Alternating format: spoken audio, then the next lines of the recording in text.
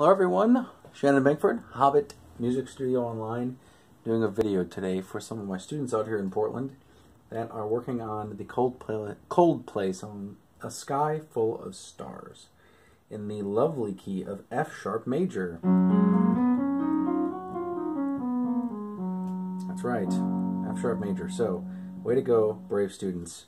Good way to pick up some of these chords spelt with sharps. Uh, so uh, first, I'm gonna I'm gonna give a tutorial on uh, for just uh, beginners to intermediate piano players on ways to simplify the chords to just two note voicings in the right hand here, uh, similar to how I've demonstrated it for my student here in Portland. All right, but the chords are, and I think you can see them on the board here: D sharp minor, B major, sometimes with the major seventh, F sharp major, and then A sharp minor, sometimes with the seventh uh, the way that he plays it on the recording, A sharp minor. So first let's go over the right hand. And I have the notes here and the fingerings here.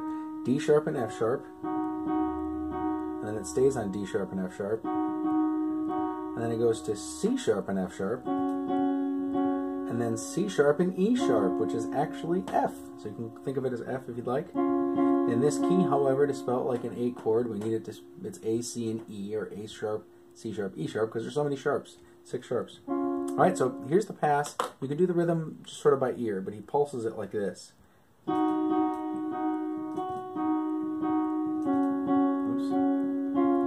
The right fingerings, two and four, one and four, one and three. That's like, cause you're a sky, cause you're a sky full of stars. That's it, basically. Okay, so let's add in the root notes down here. This is my bass clef right here.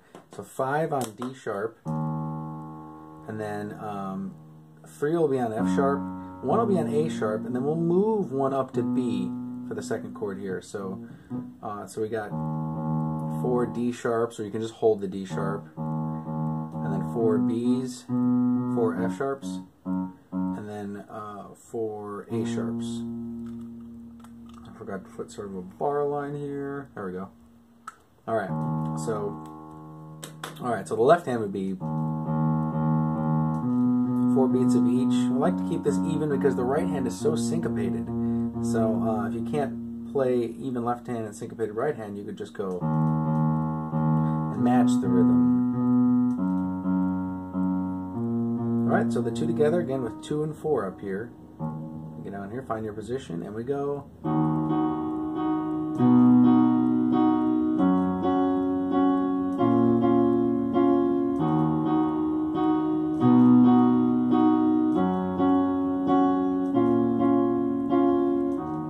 Cause you're a sky, cause you're a sky full of stars. And you can play through the recording. Almost, most of the entire recording is just this loop. Uh, this is for a play along um, exercise. All right, uh, the more advanced way is to keep a steady beat down here. And if you're just playing along with a recording, uh, an intermediate player should be able to do this. If we really break that down, what we're doing is we're doing it together, together, and then not together.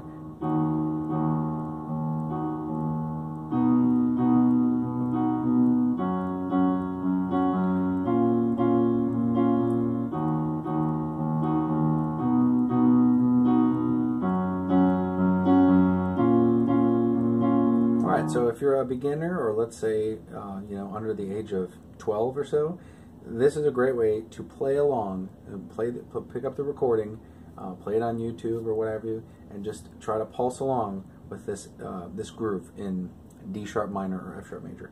All right, so uh, for the more advanced players, the full chords are like this, and then like this.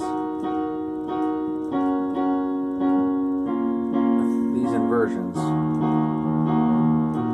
Oops. B, F sharp, A sharp. Alright, you can actually, here's the full B chord with the major seventh up here, half step down from the root.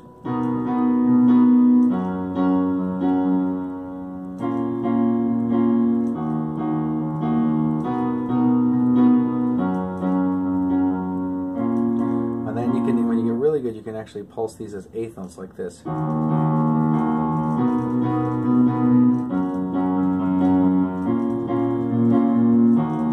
Cause you're a sky, cause you're a sky full of stars.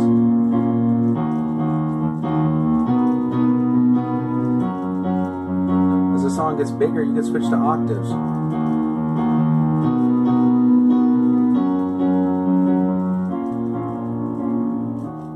Alright, worth pointing out that sometimes the B chord is like this. Regular B chord with the B on top. And then sometimes this last chord is A sharp minor 7 with this note on top. So that variation is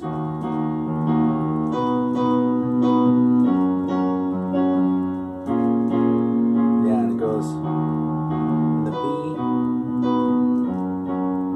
Like it kind of jumps up hits a C sharp, an inversion of the F sharp major chord, and then this.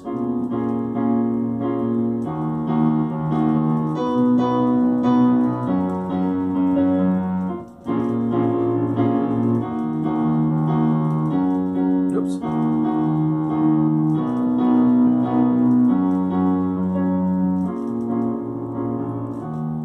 Yeah, it's pretty much that loop almost all the way through here.